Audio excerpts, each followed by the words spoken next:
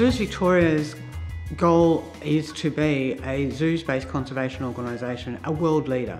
Traditionally, people are about cages, and particularly from an international perspective, when we have an international presence and we want a global presence, it's critical that we take away the appearance of cages. Melbourne Zoo and Healesville and Werribee are about habitats. They're about the environment that the animals live in. And, and that's equally and critically important to the innovation that we build into our product. The need to be innovative is about the fact that we have to constantly evolve the product and keep people interested. I mean, it's a basic principle.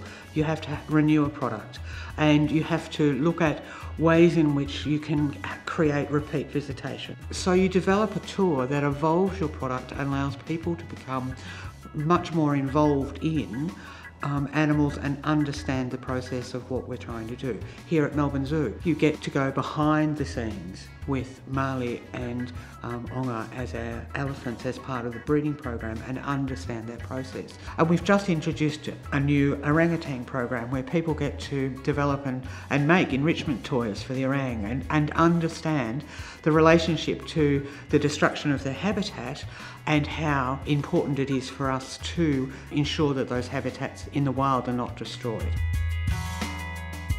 Innovation is always a component of what we will do in how we develop product, but more important is the sustainability of what that product looks like and how does it does it work in order to teach people the ideals that we're trying to achieve as, as an organisation.